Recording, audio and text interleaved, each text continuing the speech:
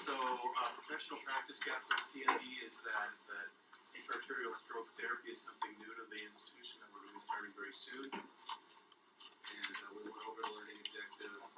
And just, I'm a paid speaker and consultant at Boston Scientific, and I've received research grants from the Albert Einstein Society, Boston Scientific, and Merit recently, but none of those are related to any of the devices or things that we're talking about.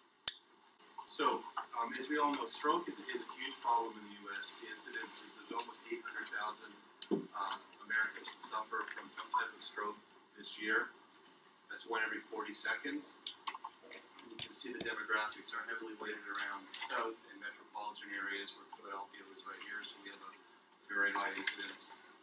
And there's generally two types of stroke. There's, there's ischemic stroke, which is what we're talking about today, hemorrhagic stroke from bleeding, and that could be hemorrhagic or subarachnoid hemorrhage or intracranial hemorrhage. But we're focusing entirely on ischemic stroke um, that we can treat.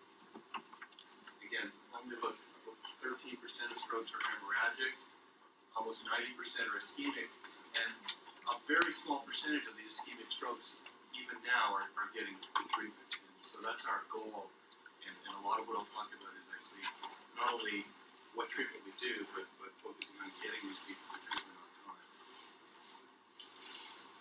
Um, so thirty-five to forty percent of ischemic strokes are considered large vessel strokes.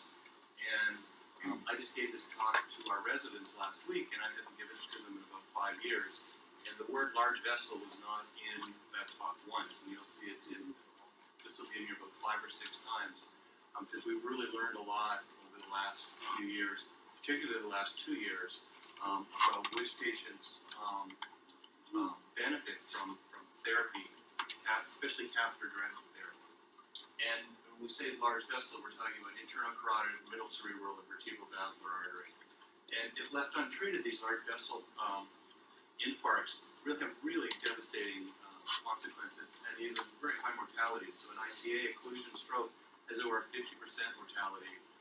An M1 occlusion has almost a third mortality, and posterior basilar artery occlusions have up to 95% mortality. So these are, the ones that really benefit from getting that far.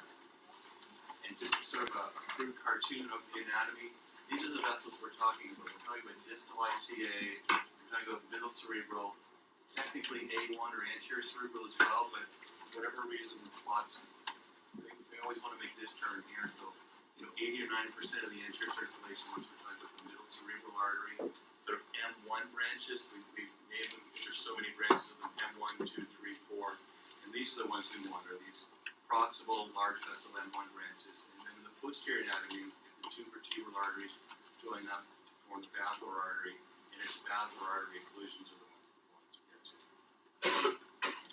Um, I'm sorry, because of the projector, these don't really come out here, but, um, this, this is time, obviously, these are neurons lost, synapses lost, and, and length of myelination lost, and, and average aging of the brain per time. Um, and you can see that, that really time is brain, uh, this thing, it doesn't show up because of the projector, right, but this, this little guy's in all over the talk. It is really is important that we, get these people treated, and the sooner we treat them, we can really, really save a lot of brain. Um, most of you guys know this better than me, that with the age and prevalence of stroke increases exponentially with age, um, both men and women. And, and stroke is, it's a big problem. Stroke kills more women than breast, ovarian, uterine, and cervical cancers all combined. This is a huge public health problem. It's, it is a leading, not the leading, but a leading cause of death. Obviously, heart disease and cancer. With, I think cancer this year passed heart disease? As the two big ones. But, you know, down here with, with COPD and stroke are, are, in the, you know, in the top five leading causes of death. And there are over seven million stroke survivors right now. Um, and two thirds of those are, are living with, with disabilities, both physical, aphasia, hemiparesis, difficulty walking, or cognitive or mental, um, or you know, depression and depression from damage to the brain or depression not being able to do the activities they could have done a few months earlier. And, and even, if, you know, almost a quarter of our institutionalized nursing homes would have all of the, the, the, the financial and emotional consequences both on the patient and families and societies in general. And then the economic cost is huge. It's estimated you know, almost $50 billion a year for stroke. So uh, one of the, the, the criticisms of the, of the fancy intra-arterial is that they're really expensive. The devices are five thousand or six thousand dollars a piece. But if you could if you could take you know, people away from this use where they're hospitalized in nursing homes, it, it doesn't take very many people to, to take if you get them back to functioning in a society. Um, you know, it really overwhelms that upfront cost of the procedure very quickly. So thrombolysis and devices in acute stroke is, is, is what I'm here to talk to you about. But you know, I, I, there's two or three times I'll put this in, and I think this is really important that improving public awareness and, and getting you know the, the public to, to recognize stroke and having facilities with EMS, and then once they get here, having our protocol set up that we get these people treated faster is, is more important than all the fancy million dollars of stuff that we can do to them once they get here. If, if the simple sort of public awareness and having a system get people in, just like if someone has crushing chest pain, you- they're not gonna wait till the morning or go see, or wait for a couple hours, they're calling nine one one. And, and it, and it's improved dramatically over the last, you know, the last several years, but that's more important than all this stuff, fancy stuff I'm gonna talk about today. Um, so endovascular treatment of stroke, um, so the early trials were the NINDS trials, TPA within three hours, and that was IV TPA, so virtually overnight stroke went from, putting someone on heparin and, and if it wasn't hemorrhagic, and, you know, and getting them rehab after a while. And really, when I was a resident, that's, that's what we did. In fact, when I did my residency, one, year of residency in Ireland, and they didn't even give, they didn't even give heparin because we didn't have a CT scanner in the hospital. They just said, you know, well, you know, we'll keep them here for a few weeks and then after rehab, there's really nothing to do. But sort of overnight, the NINDS trial offered treatment. And then there was PROACT 2, which compared intra-arterial um, um, to supportive care, and, and that was positive. It had, it had some, some big problems. There was a 10% major intracranial bleed rate, and, and I was a resident, Furlan actually at um, Cleveland Clinic when I was there, and I saw a bunch of these patients. We were giving huge doses. We just didn't know what the doses were. Giving huge, huge doses, so there's really high bleed rates. They're much, much lower now, but that's, this really opened up this sort of catheter-based uh, treatment. That was in 1999. Then there was some few papers on angioplasty, which came and went very quickly because there was a lot of ruptures from angioplasty. Um, and then the first devices were, were with the MERCI trials in 2004. And then people before that tried a whole bunch of different things that didn't work very well conditions.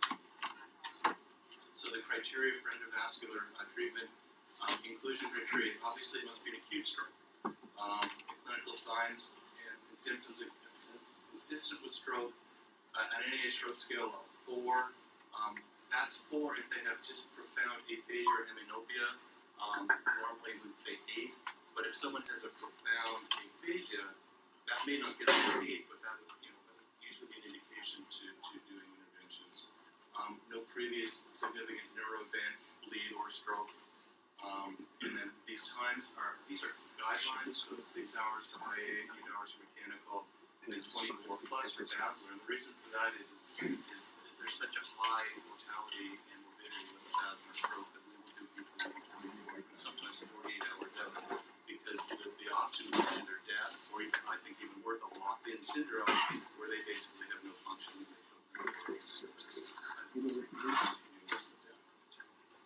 um, and sorry that this doesn't project out here from the projector ball but um, I left this slide on not to not to, go through all these exclusion criteria, but these are these are just an exclusion criteria from a workshop at, at the recent SIR, and, and I think I don't agree with these. The ones that are highlighted are all ones that we have done strokes here for, we've treated strokes. So basically, the only exclusion criteria where I'd say you don't even need to, to activate the stroke team is if it's a hemorrhagic stroke. If there's a big bleed on the CT and on contrast CT, then there's- we are never going to go in and, and, and treat it. Or if it's if it's um, you know they found somebody days later, they do the on contrast CT and there's a big um, already uh, mature stroke. Those would be the two big. Otherwise, you know, just activate the stroke team and, and call us because there are a lot of these, you know, depending on the clinical scenario, the age of the person, if the person, if it's young woman who's postpartum, we treated somebody, you know, way out of these things, you know, if it's a five-year-old, probably none of these things you could do, but the young person, so just, activate the stroke team, all the, all the two cats, and then, you know, triage them from there. So in imaging, again, you want a normal non-contrast CT or a very small, tiny stroke. Um, and, and CTA is something that, that we don't do in every patient, but I'm pushing to do it in most patients because in the studies, and I'll get to the, to them later in the talk, is that the ones we want to triage into treating are large vessel CTA, large, large vessel strokes. And then, uh, a large perfusion, uh, perfusion mismatch of penumbra may extend the time well, as well. And the penumbra is, is when you, um, you have, you still have, uh, you don't have function, but it hasn't been a complete infarct.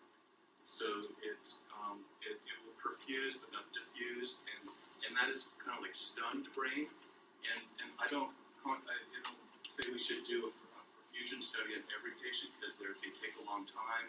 They're very kind of burdensome to do, and they are, if you use CT, a lot of radiation. Um, I don't know whether you saw in, in the news about four or five years ago, that woman with the halo of no hair around here from from California. That was from doing a bunch of fusion studies on her, and she got a because they do it around the circle of Willis, and uh, and she got hair loss. So I'm not saying we should do should do fusion studies in everybody, but I, think we should do CTAs in most. Um, um, exclusions are mass effect, so edema that would be an indication of an already evolving stroke. And this is in a lot of the literature and textbooks is greater than one third of the MCA distribution. So that is completed stroke. Greater than one third of the MCA distribution of, of acute stroke that's less than you know, six hours There are people we want. So um, that one's in there for a lot of the residents because it's a common course question. Any evidence of bleeding, um, tumor and are obviously angiographic inclusions are complete occlusion, minimal perfusion, so they, they're like TICI flows that we do. So you want like really slow flow to the to the um, vessel where the symptoms are related. So if you see something on the opposite side, you don't want to go treating something that isn't giving symptoms. Um, exclusions are some people we just can't safely catheterize the vessel that we need to get to, or if they have really bad vasculitis. So intraarterial thrombolysis, um, even catheter most people use TPA in the study after the PROACT 2 with urokinase, which is no longer available, using TPA for Retavase is another uh, lytic we use. And again, we're using much smaller doses. In the PROACT study, we were using 20, 30 milligram intraarterial doses, and their bleed rate was, was 10% or higher. Now it's small, 1 to 1.5 milligram doses, up to 10 to 15, you know, based on the patient. Um, but, but certainly not more than 15 milligrams. So much, much smaller doses, and the bleed rates are much lower. Heparin, there is there's a lot of disagreement about whether you should give heparin at the same time or not. In PROACT, they did give heparin, the bleed rate was high, so now most people don't give heparin, they're giving them, I think, TPA. Although I'll get later in the slide, most people aren't even, doing IA anymore. Um, and then ReoPro, um, don't give, and then, uh, there's a lot of debate about aspirin and Plavix. Personally, I think a low dose aspirin with TPA, if you're doing it, would probably be a good thing, because TPA, for whatever reason, activates the levels a little bit, but there's no, there's no literature to say it's good. So indication for the anterior circulation, we talked about this a little bit.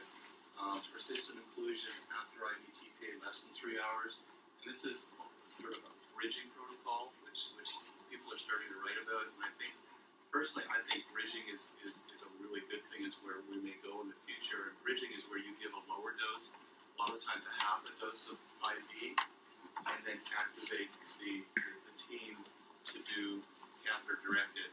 And sometimes the patients get better, and then, you know, we say thirty minutes, but realistically, most centers, it's pretty hard to get someone from an ED bed onto the table and treating within thirty minutes, it's only 45, 60 minutes.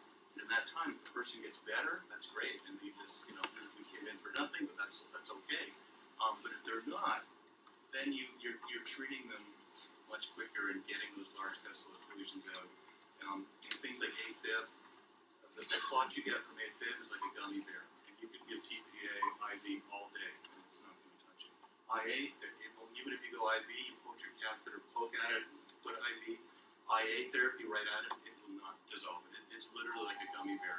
When a clot goes from like jello, which, which anything will dissolve, to gummy bears to concrete over time. And these AFib patients, who they've been there a long time, will go out. Those are the ones we really want to do mechanical for.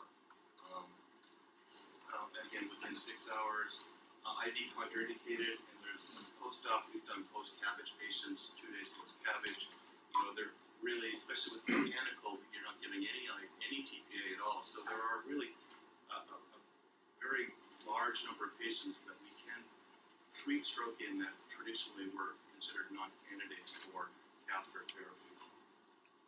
In the posterior circulations, uh, you know, worsening symptoms, uh, visualized occlusions on CTA, and again, up to twenty-four to forty-eight hours. Especially if a young person came with a basilar artery stroke that was, you know, thirty-six hours out, and the family wanted to do it, I would offer that, because the, you know, there's very little downside, because that person's either gonna die or just have horrible downside. So just a couple of, uh, cases of IA, and again, we don't do much IA anymore, but you can see here's the, the distal, uh, internal carotid artery, anterior cerebral, middle cerebral, and there's a clot wedge, so the bifurcation of the middle cerebral. Here's our little catheter coming up and starting to treat. And here, we're starting to treat, you can see the clot right in here. And then now, see it's smaller, it's of, uh, as it goes, sometimes you end up chasing these things with IA, as they get smaller and smaller, and you get out to smaller and smaller vessels, and then they go here, and we chase it up, then went to the next branch vessel here, see right there, and that's when we stop, because the further out you get, the smaller branches you get, the more it can be. You know when the ship is? Again, so went from this. To this, so not perfect, um, one thing that keeps me and most people that do any type of procedure is the enemy of good is perfect. And when you start chasing things like this to try and get a perfect result is when you start night, but you also have to get something. Another case of stroke, this is two thousand and eight, so I think we started treating stroke at the downtown hospital in two thousand seven, six. This is one of our early cases, this guy came in uh, huge, like his stroke scale was in the twenties, really, not confusing any portion of his brain. So this is the carotid, left internal carotid, these are external carotid branches to the scalp. So basically, the whole left side of his brain wasn't refusing, so aphasic, and no movement any part of his right side of his body. Huge stroke. And so we usually start with an angiogram from the common carotid, and part of it was the same from was he had a stenosis the, the origin of the internal carotid. Which we did a stent, and way up, and then of course we did spasm, which you know, some where it's flow. And then we, then we started treating the stroke, which was a little, this way out here. But if you look, there was just a really degenerative wedge, not perfusing brain, and this was in a very high red eloquent, eloquent area of the brain that had speech and motor for its hand, and legs. So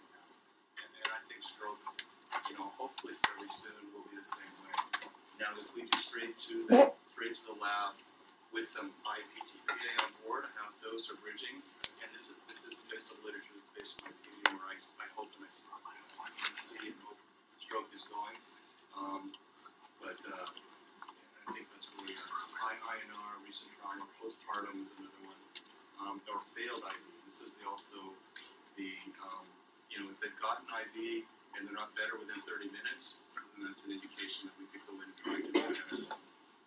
Again, so zero to three, this is, a lot of people take four hours now, or four point five for the IV. Um, and then greater than six, it's going out to around eight now, I think. Um, there's, there's, as we speak, there's three major stroke, uh, papers being presented in the international, uh, stroke conference going on right now in Nashville. And, uh, one of them is the standing line of arterial therapy. And I asked them to give the text to me the results, so hopefully by the end of my talk, I'll be able to tell you the results. Um, so this is the first generation device, the MERCI device, and I used to describe it to patients as like a corkscrew you put in to the quad and pull it out, because it's just easy to understand that way, but it's really a corkscrew, it's the thing you form behind the quad and pulled it out. And it, and it worked, it just, it didn't work great, it certainly did work, but the problem is it would un, it would come apart, the quad would fall off, and it wasn't the greatest device, but it did work, I mean, these are some examples of things being pulled out of the brain. And, and you know, that the early trials using it showed, you know, relatively good revascularization rates, you know, fifty percent, not bad. Um, and then compared to the, the IV trials, it did, it did pretty good. Um, and then the next generation was the penumbra device, we, we know, we do not use this device anymore. Although it works, it doesn't work great, is the MERCI one. But this is the suction one, this is, it's called the penumbra device. Basically, you hook it to this suction machine, you bring it up into the brain, and there's this little olive thing that, that doesn't really pull clot in, it just unclogs the, the device. You know, you think if you got a vacuum cleaner, and you're vacuuming up, vacuuming up things in a piece of cloth or something, catches on, plugs up your vacuum cleaner, well, it's got a thing inside where it just goes and unplugs it, and that's what this device does rather than pulling the clot in. Again, this device, this is pretty effective, we still use this sometimes, it's not a first line device, but we still do use this sometimes. Does the separator go beyond the cloth? Yeah, it goes, it goes, yeah, it goes in and out, Across the wire, and the separator may have, me, right?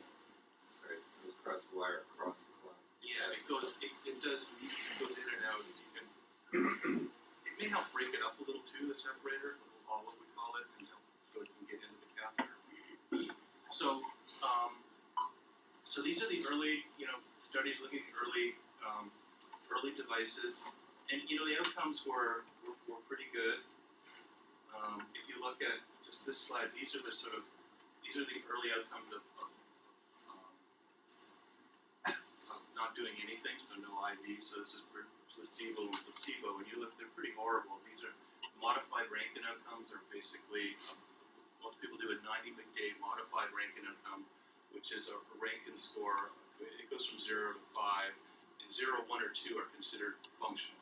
And so those are the, those are the benchmarks that all these studies are using. And you can see they're pretty horrible if, if, if you do placebo treatment. And look at the studies using the first generation devices, you know, they were, they were a lot better, but they, you know, they weren't, they weren't great. And, and then this one, I highlighted this in PROACT, because that's that ten percent in uh, bleed rate, in PROACT with the big doses. And again, the, the, the outcomes with reperfusion, you know, are a lot better, like ten percent versus forty-six, ten percent versus fifty, and seven percent versus forty-five, and these were all first generation, and mortality is a. So they all work. So then the, the latest generation are these things called stent retrievers or stent retrievers, which are basically, um, there's, there's two of them out there, and there's another one in Europe, but there's two available here. And they're basically stents on a stick or stents on a wire. And, um, it's kind of a funny story anecdotally how these, how these started to get used, is these were, the first one that came out was actually designed in Europe as a deployable stent, um, in the brain for, for treating intracranial stenosis. And the, the engineers were working with these, and one of the pigs they had developed a stroke. And this guy, he should, he should put a Nobel Prize for it, but thought, well, let me see if we can pull the clot out, because we don't want our pig to die. See if we can use this to pull the clot out, and they did, and it came out. And, and, the, and the, pig obviously didn't do well, because they started with wisdom, but they, and they thought, well, maybe we could use this as a stroke device. And, um, and that's where it came about. In fact, the first one that was available was actually, you could, you could re- And the first ones we had out were actually, you could, you could let the thing go. And the FDA made the company change it to unreleasable because it's not approved as a stent in the US, but it is approved as a stroke device. And it's kind of neat the way that happens. But basically what these is you deploy them into the clot like this, and you, you, you get a little microcatheter distal, and you unsheath the microcatheter, and it works its way kind of like a cheese cutter or, into the clot. You leave it there for about five minutes, and then you, you do suction with a sheath below or a balloon below, and you pull the clot out of the, out of the, uh, the vessel. And I think it has another added bonus in that as you do this, it also pushes the clot a little bit out of the way, and you get some transient reperfusion of the brain, which gives it some oxygen. I think even probably more importantly, washes out all those free radicals that are developing and causing damage in the brain.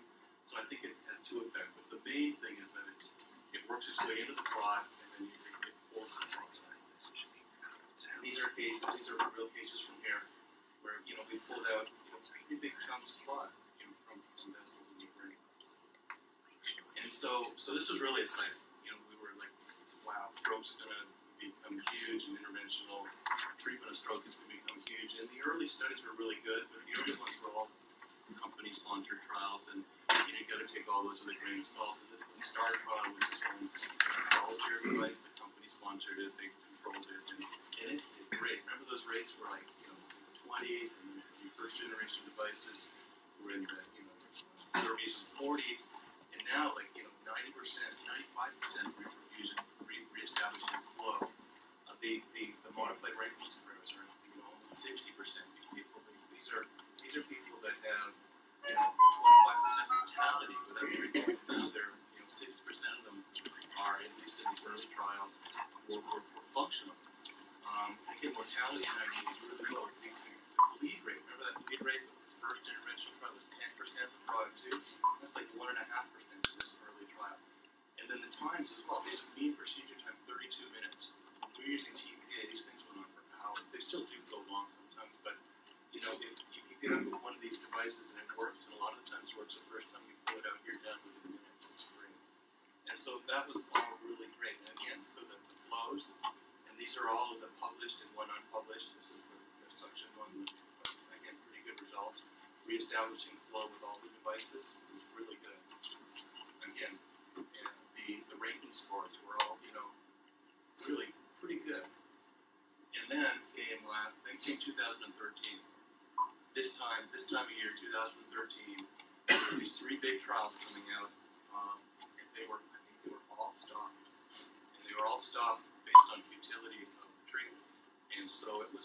day for catheter-based treatment for stroke.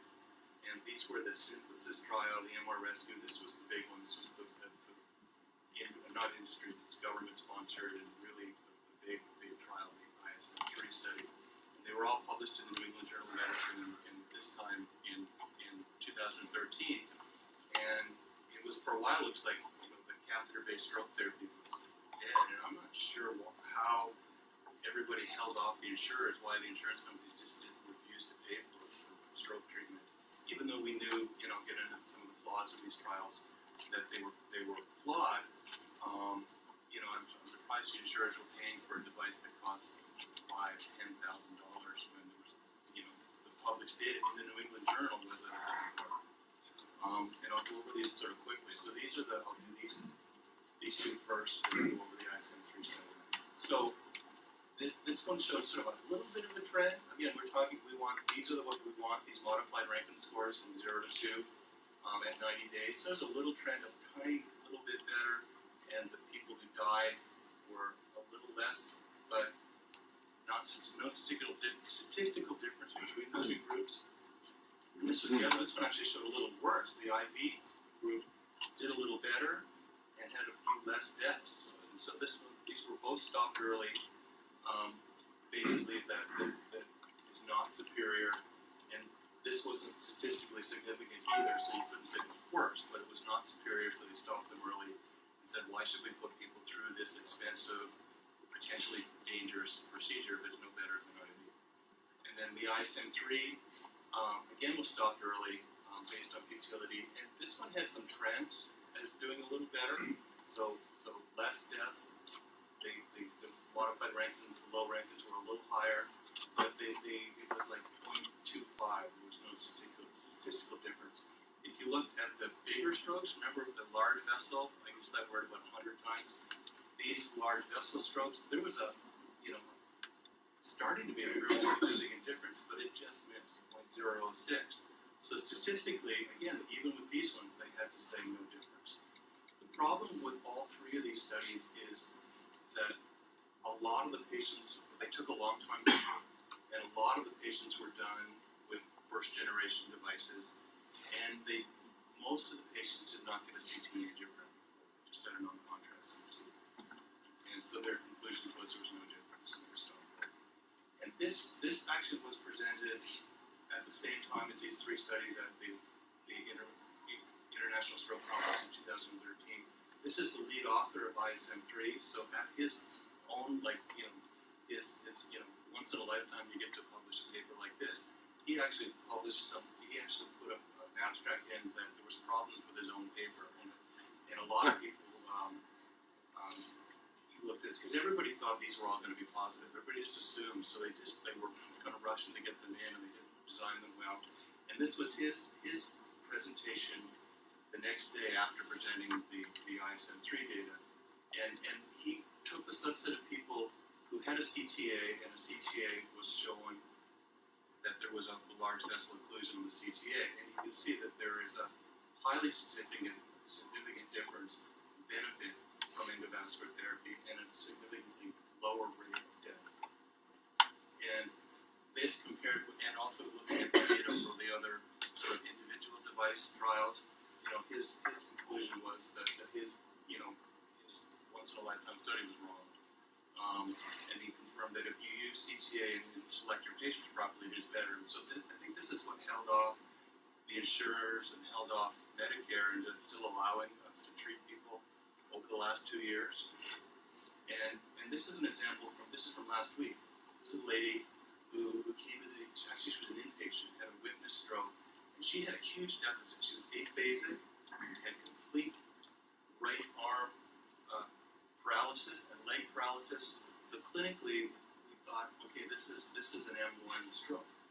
And we talked about getting a CTA, but she'd already been down in the scanner, and we didn't get it. She was going back up, and we thought clinically she had such a high likelihood of um, having an occlusion right here that we didn't get the CTA, and this is her angio, and it's you know it's, it's normal.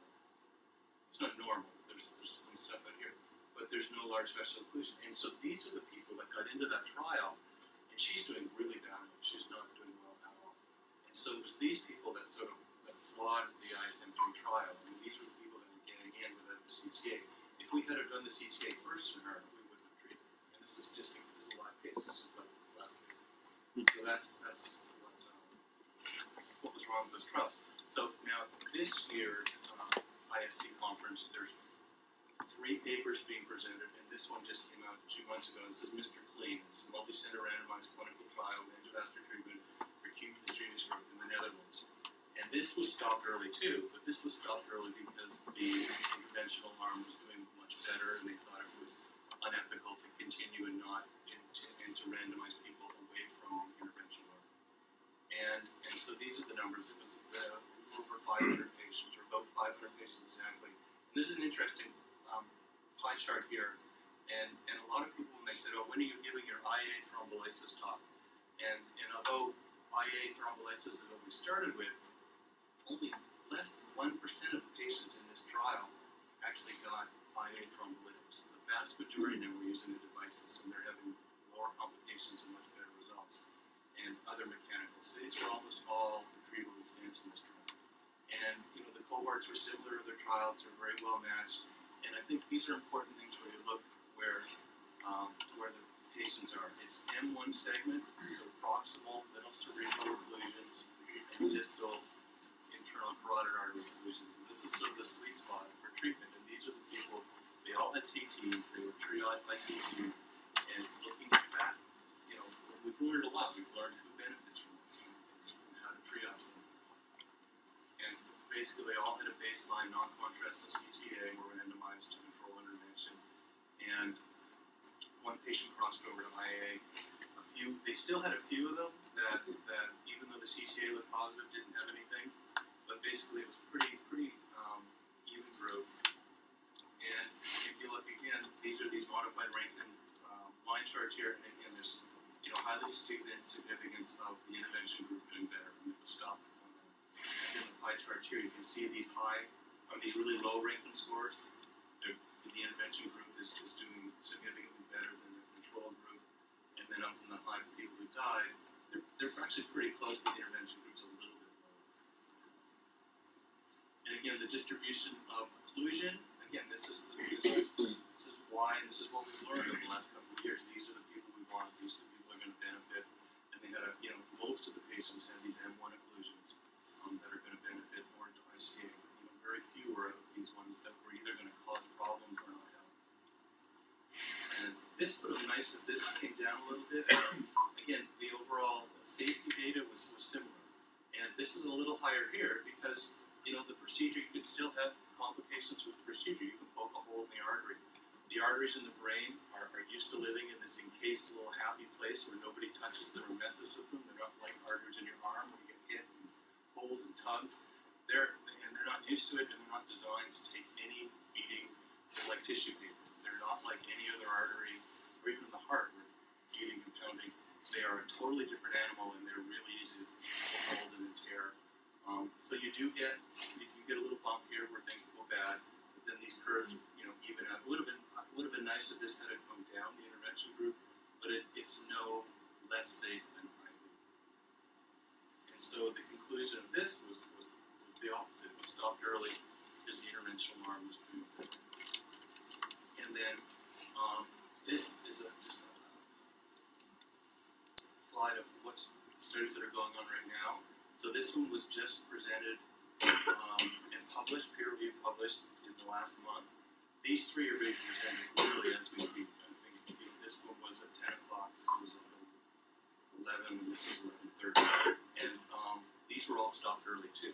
And you know we're not supposed to know that they were stopped. I was hoping someone would text me before I'm done that I could say you know they were all stopped because they were positive. But the, the, the word is is that they were all stopped because they were all positive. You know, in an hour we'll know, but um, I'm pretty sure they were all stopped for positive. And again, this is this is today's this is today's date. So again, from these are all being presented. Um, so hopefully the the the, uh, the catheter based therapy is really you know kind of hopefully coming into its own. So just a few cases of, using the devices. This is a 58 year old male, um, complete aphasia, uh, right, um, right arm and leg paralysis. See, this is this M1 or middle cerebral artery occlusion. This is the device. So you can see here, here's, it's a little hard to see, but here's the stent. These are little markers on the end of the stent. You put it in, leave it up for five minutes, pull it out, and it's totally reperfused. This guy went home. He went from you know, having just a profound deficit, maybe even dying. There we was uh.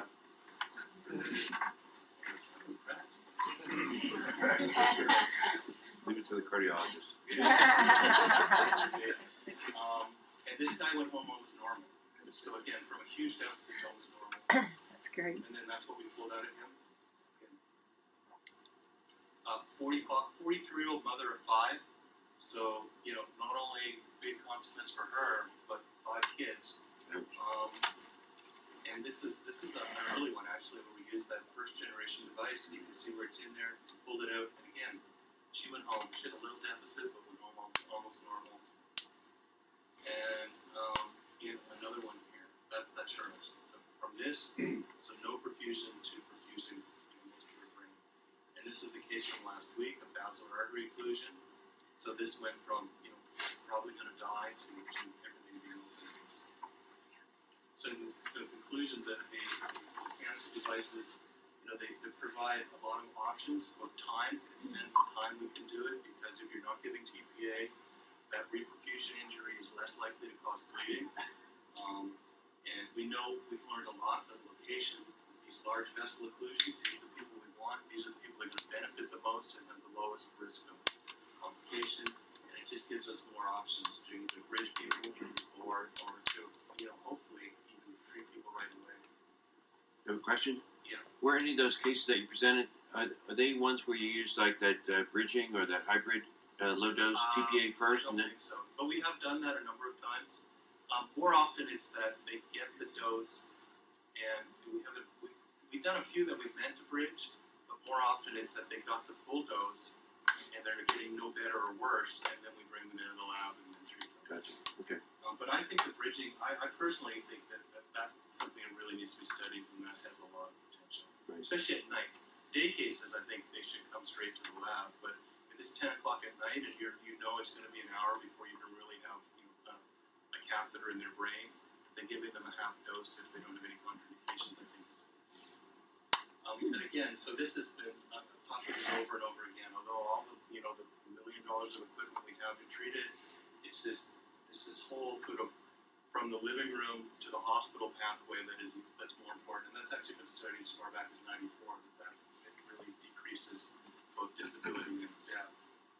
And again, the, the little running brain here doesn't show well, but again, the time is time is brain. Time is so important, both from the living room to the hospital and from the ER to the. And so this is an example of it's not ours, but it's, you know, ours is similar to the stroke protocol. Is, is this part of it? Is that a really important part of, educating the public, educating EMS that this is just like an acute MI or or, or trauma, that it's a true emergency. Um, you, get into the ER, you activate the stroke team and the stroke team as a whole. So the neurologist, Rabia, and our group, and the ER physicians, or you know the, the hospital physicians if they're inpatient we all as a group then triage these people and decide, you know, where they go. So on CT, if they have a bleed, you know, we consider neurosurgery. Um, if it's less than three to four hours, there's an infarct, IV. Although I think this this arm is going to increase dramatically. Where if it's large vessel or IV's contraindicated, they go here. But I think this is going to get bigger and bigger, and this may even be the primary arm. Um, less than six hours for IV therapies, whether it's it's very rarely um, thrombolysis, it's mostly mechanical now. And more than six hours, this is where I think we want to get the big perfusion studies to see if there's a big portion of stunned brain that's not that's not a, an evolved infarct. And those are the cases where we can do mechanical treatment even even eight hours out and maybe even one hour. And again, a couple of more, one more case, just to kind of a little bit humbling case. This was an 85 year old. You know, the older people are just with anything in medicine, what times they have complications. This was the grandfather of an employee, and we got this. You know, this it's like a ball. It kept, I think he had AFib, so it kept going back and forth between so so this artery here, here, and later on it's this vessel. You can see it here. It's not perfusing. And it was just. I think we tried at IA and just laughed at it. We got our device in. See here's the occluded vessel, here's the device. This is always a scary time because you're putting this wire blindly in and where it's going. But we pulled it out and this was just great. I mean, this didn't take long, it looked perfect. We were like, this is amazing. And unfortunately, this is what its NCT looked the next day died. So, you know, this, these therapies aren't perfect. Um, you know, and they are kind of humbling and you have to have a very frank discussion with the family that, you know, when they go bad, they do go, they go really bad. Um, but, you know, overall is is is that they much, much better. last time, again, improving the whole system, it's gonna help people more than these things.